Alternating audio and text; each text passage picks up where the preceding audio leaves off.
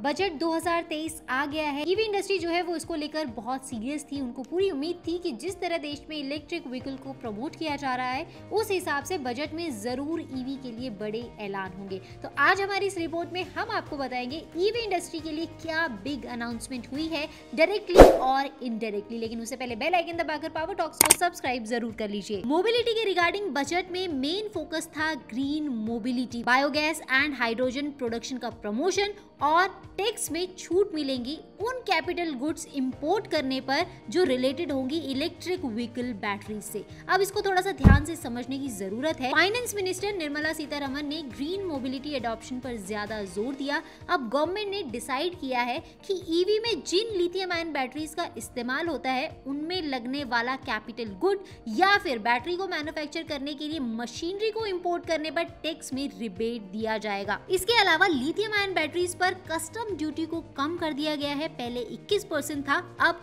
तेरह परसेंट इसे कर दिया गया है। ईवी बैटरीज पर मिलने वाली सब्सिडी को भी एक और साल के लिए एक्सटेंड कर दिया गया है। अभी तक होता ये था कि एक इलेक्ट्रिक व्हीकल की कॉस्ट ज़्यादा होती थी लिथियम आयन बैटरीज की वजह से, क्योंकि इनके सेल्स बाहर से ही इम्पोर्ट होते थे। तो अब गवर्नमेंट ने इसको समझा है और कस्टम ड्यूटी को कम करने का फैसला लिया है। वहीं दूसरी तरफ़ इन बैटरीज को बनाने के लिए मशीनरी इम्पोर्ट करने पर भी टैक्स में रिबेट है, जिसके पीछे मेन रीजन है इंडिया इस ईवी क्षेत्र में पूरी तरह से आत्मनिर्भर हो जाए और ज़्यादा से ज़्यादा प्रोडक्शन इंडिया में ही की जाए। ये अचानक तो नहीं हो सकता, लेकिन अब गवर्नमेंट के इस डिसीज़न के बाद इंडिया की बाकी कंपनीज़ भी इनिशिएटिव लेती नज़र आ सकती है और इनडायरेक्टली इन सबसे आपको इलेक्ट्रिक व्हीकल की कॉस्ट में कमी ज़रूर देखने को मिले। अभी टू व्हीलर की कॉस्ट मिनिमम अस्सी हज़ार रूपए से शुरू होती है और पेट्रोल स्कूटर के मुकाबले लोगों को ये कॉस्ट ज़्यादा लगती है। बट इस डिसीज़न के बाद सारे इफ़ एंड बट खत्म होने वाले हैं। तो क्या आप बजट 2030 से सेटिस्फाई है? हमें कमेंट बॉक्स में ज़रूर ज़रूर बताएँ। वीडियो को लाइक और शेयर करना ना भूलें और ऐसे ही देखते रहिए पावर टॉक्स।